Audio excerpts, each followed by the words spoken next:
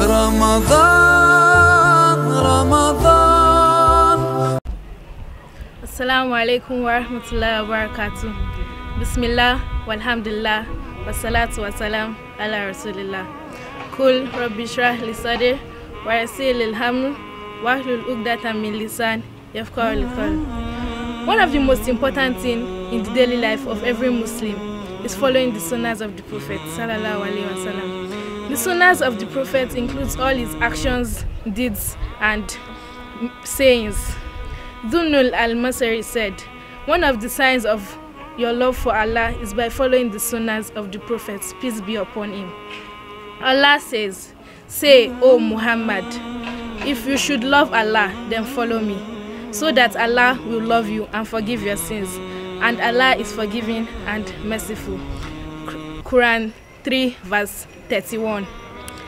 Al-Hassan al-Basri said, explaining the aforementioned verse, that one of the signs of loving Allah is following the sunnahs of his prophets, peace be upon him, because the rank of every believer is measured by the extent to which he follows the sunnah of the prophet.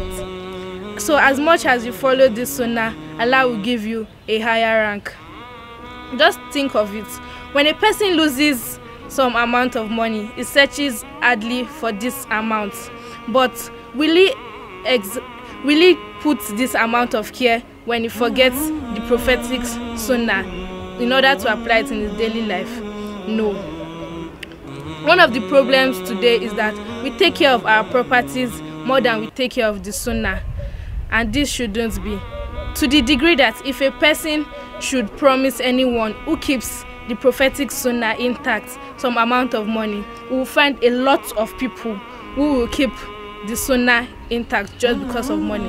But what is the use of money when you will be lodged in grave and people will pour soil on you? Allah says, but you prefer the worldly affair while the hereafter is better and more enduring. Surah Al-Ala verse 16 to 17. Sunnah is the sunnah is the deed that which when applied you'll be rewarded but when not applied you will not be punished. Sunnah is repeated day and night and can and can easily be learnt and applied by every one of us. Sunnah is like the way of the prophet. The, therefore, how much will you lose when you do not apply the sunnahs of the prophet or when you do not learn it at all? all Muslims, we are urged to follow the sunnahs of the Prophet, revive and apply the sunnahs. May Allah guide us to the right path.